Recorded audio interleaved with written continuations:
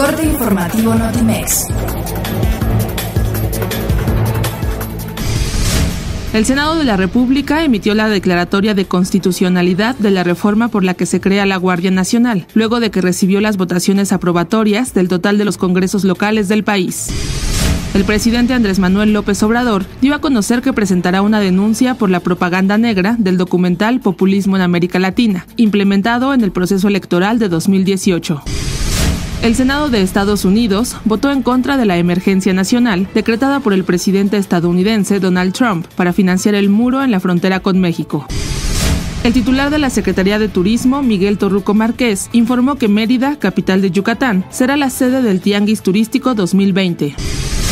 El Real Madrid anunció la contratación del defensa brasileño Eder Militao por las próximas seis temporadas, convirtiéndose en el primer refuerzo del técnico Zinedine Zidane. El Festival Iberoamericano de Cultura Musical Vive Latino tendrá un crecimiento notable en su vigésima edición en aspectos de audio y video, así como en las atracciones que ofrecerá los próximos días sábado y domingo. Manuel Vargas anunció el origen del Consejo Mexicano para la Cultura y las Artes, organización que busca ser punto de encuentro entre gobierno, empresarios, creativos, artistas y sociedad civil. Notimex.